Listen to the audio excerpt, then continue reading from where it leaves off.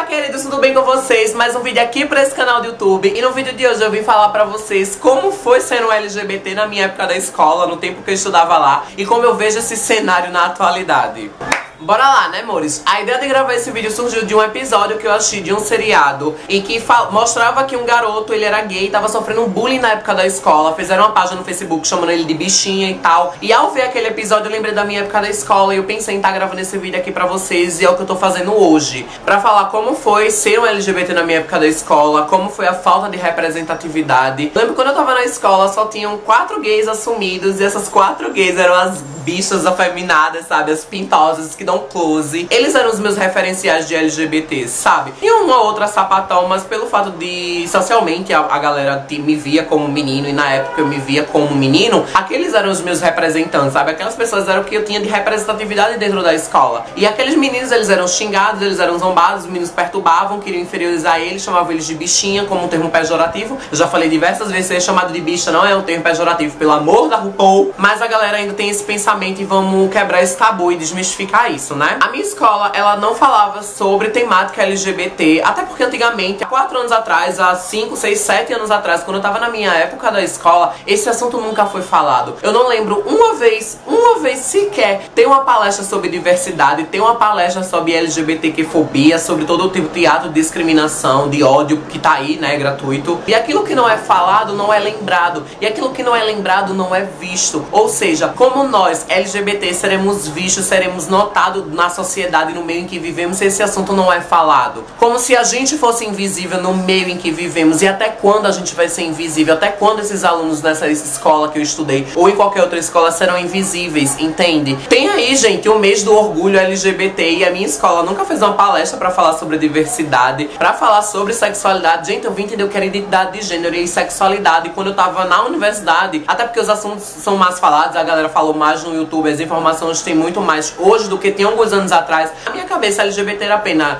gay, lésbica e travesti e que eu tinha um conceito totalmente errado do que era uma travesti. Então, esses eram para mim os LGBTs e os bissexuais só. Não sabia sobre as outras identidades de gêneros e as outras sexualidades e que hoje em dia a gente tem que infelizmente a escola em que eu estudei ainda não fala sobre esse assunto. E eu posso falar para vocês porque eu ainda tenho um laço com alguns professores que ensinam lá e laço com alguns alunos que ainda estão lá. Que eu nunca vi nenhuma foto sendo compartilhada da semana do orgulho LGBT, de uma palestra, de uma peça de teatro, de nada. A minha escola que eu estudei, ela não fala sobre esse assunto. E quantas outras escolas ainda não falam sobre esse assunto? E quanto tempo isso ainda vai levar? Quanto mais esse assunto vai ser colocado pelas cobertas e serão invisibilizados os LGBTs que ali estudam. A minha coordenadora, ela nunca falou comigo, nunca me perguntou como era meu relacionamento com os meus pais, como é que andava a minha vida. Mesmo na época da escola dizendo que eu era hétero, meu Deus.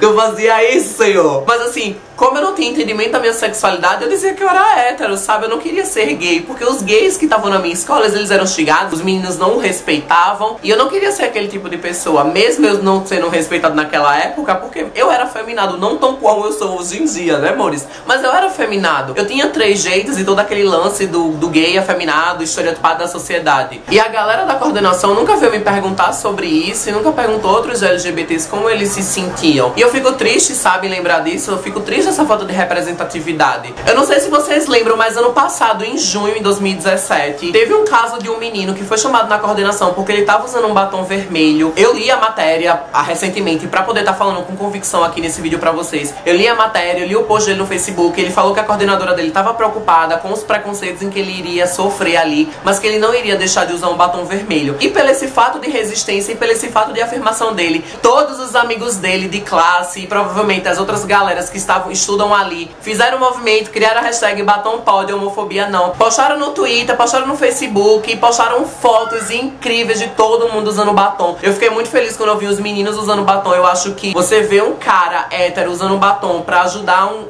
gay a existir, a estar tá ali, é importante porque a gente sabe o machismo que existe. E aqueles meninos provaram que, de certa maneira, um batom não vai mudar o que eles são e que essa homofobia não deve existir, que eles estão ali ao lado do amigo deles. Eu fiquei muito feliz quando eu vi essas fotos não só dos meninos, como das meninas e toda essa galera da escola. E eu acho que é isso, eu acho que é quando você vê um LGBT passando por algum problema na sua escola, é você ajudar ele de alguma maneira. E foi o que esses alunos fizeram. Eu tô pensando aqui comigo, imagina se fosse eu na minha época da escola, enfim, se eu fosse tão empoderada quanto eu sou hoje em dia. Se eu chegasse na minha escola de saia, será que a minha coordenação iria permitir que eu entrasse na minha escola? Provavelmente não. Provavelmente eu não seria aceito ali naquele ambiente, teria que ser mandado para casa e sofrer na minha casa o preconceito que eu sofria e sofrendo na escola, ou seja, o preconceito vivido em dois ambientes, que era o que eu mais estava ligado, que era em casa e na escola. Pensar sobre isso me deixa triste, mas saber que tem gente ali apoiando, como aconteceu nessa escola, do pessoal usar um batom vermelho, é muito importante. Levar esse assunto para a escola é muito importante, porque muitos daqueles alunos que estão ali na escola passam por problemas dentro de casa como eu passava. E o único ambiente que eles tinham para esquecer aqueles problemas de certa maneira era na escola, mas se também aqueles problemas existiam ali. Então qual era o ambiente que esses estudantes poderiam se desprender desses preconceitos e desses tabus e dessa toda essa opressão da sociedade? Eu acho muito importante essa função, sabe? Levar informação pra galera que não tem é quebrar preconceito e quebrar tabu. E quebrando preconceito e quebrando tabu, a gente vive numa sociedade mais livre da galera que tem informação, que tá tendo acesso a ela. E falar sobre isso faz com que existam menos pessoas preconceituosas. Eu espero que as escolas façam palestras, façam rodas de debate para falar sobre isso e levar essa informação, levar a existência desses estudantes. Eu fico muito triste em poder não estar tá contando histórias como eu era na minha época da escola, até porque eu não tinha entendimento da minha sexualidade. O meio em que eu vivia não me permitia entender a minha sexualidade em casa, sociedade, escola, enfim. Tanta opressão dentro da minha cabeça, no meio, para uma única pessoa resistir a tanto, tantas mentes, sabe? É muito difícil. Então eu não tenho para falar, ah, eu fazia isso na época da escola. Não, eu vim entender minha sexualidade quando eu já tava lá na faculdade com os meus 18 anos. E é isso, meus amores. Eu espero que vocês tenham gostado desse vídeo. Eu espero que ele não tenha ficado vago, porque eu não tenho história minha em si pra contar na época da escola. A não ser que os meninos perturbavam comigo, zombavam de mim e tal, isso. Mas